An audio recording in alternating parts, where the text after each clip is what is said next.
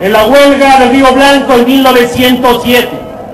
en la Casa del Obrero Mundial en 1912 y en la fundación del Sindicato Mexicano de Electricistas el 14 de diciembre de 1914. Desde luego que hubo otras organizaciones y movimientos sociales de aquella época,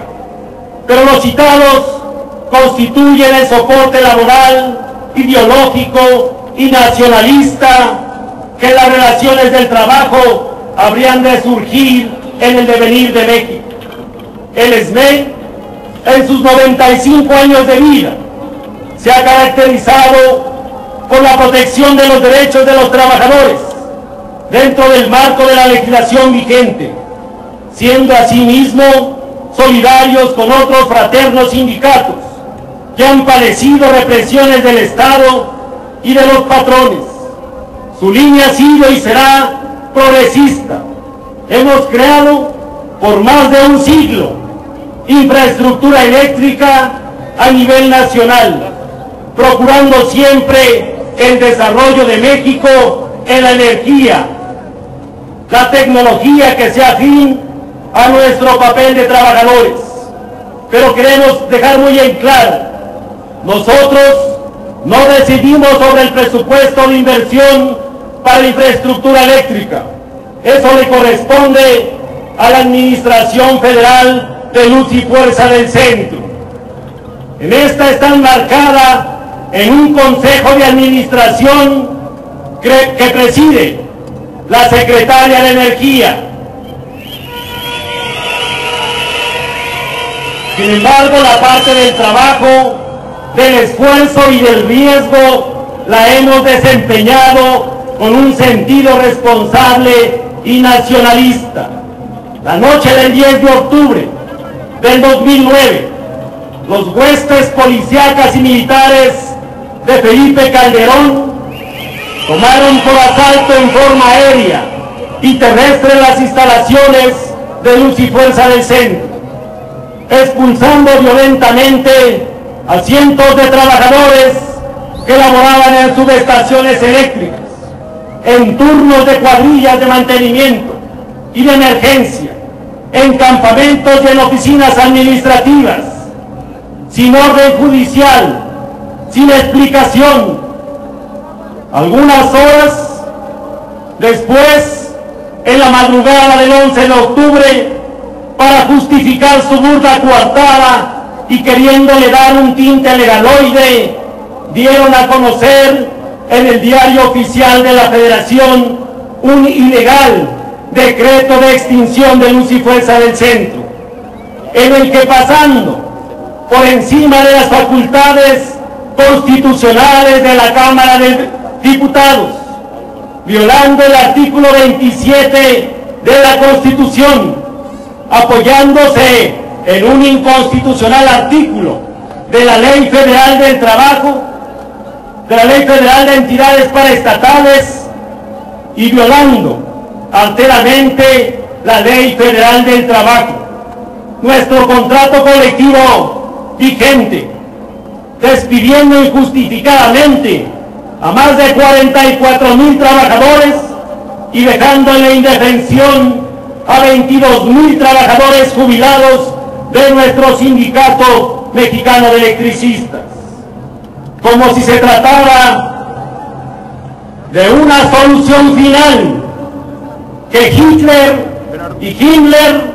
argumentaron para el exterminio racial a través de sus crímenes en los campos de concentración en la Segunda Guerra Mundial. La secretaria de Energía, Georgina Kessel, de origen alemán, con la mediocridad que la caracteriza, hizo mal cálculos, ya que coordinó con Javier Lozano la elaboración de un dictamen en donde señalaba como un plazo máximo de tres meses que todos los esmeitas nos íbamos a ir a liquidar. en un acto más de desconocimiento elemental de la política laboral, energética de México, como parte de los preparativos del golpe de la dictadura fascista en contra del ESME, desde el 31 de agosto y 28 de septiembre del 2009, bajo la firma del subsecretario de Electricidad, Benjamín Contreras, el gobierno de Calderón preparó dos documentos, un informe de la desincorporación mediante la extinción del organismo descentralizado Luz y Fuerza del Centro, fechado el 31 de agosto del 2009, ambos clasificados como reservados entre 1 y 12 años en los términos del artículo 13, fracción primera y cuarta de la Ley Federal de Transparencia y Acceso a la Información Pública. Ambos documentos fueron entregados al diputado panista, presidente de la Cámara de Diputados, Francisco Ramírez Acuña. El martes 13 de octubre a las 15.25 horas, es decir, 63 horas después, intuyendo Calderón que además de pisotear las facultades de la Cámara de Diputados, estaba faltando al elemental protocolo. Otra gran farsa,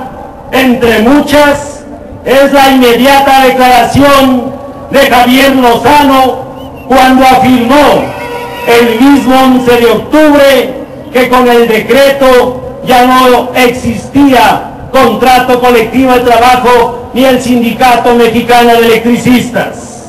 El pianista fracasado,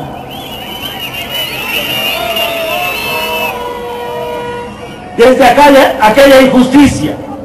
Noche del 10 de octubre del 2009, el SME, con la fuerza de la razón y el derecho, ha demostrado en diversos foros académicos, jurídicos, Cámara de Diputados, frentes sindicales e internacionales, grupos sociales mexicanos, que esta lucha emanada de un irresponsable acto de Calderón cada día está más fortalecida que los verdaderos intereses que lo mueven para emprender esta traición a la patria sobre una empresa pública que es propiedad de la nación y no de él, y de su camarilla de incondicionales. Es privatizar con el apoyo del Banco Mundial, con el organismo privatizador que es la corporación financiera internacional. Calderón, con esto y otros actos, se inserta así a la par de Antonio López de Santana y Victoriano Huerta. Los tres han sido los más nefastos y traidores presidentes de México. Si así se les puede decir, presidentes.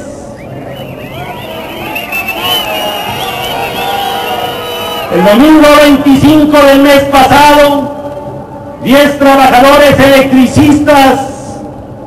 iniciaron una huelga de hambre que gradualmente ha aumentado cada día, sumando a la fecha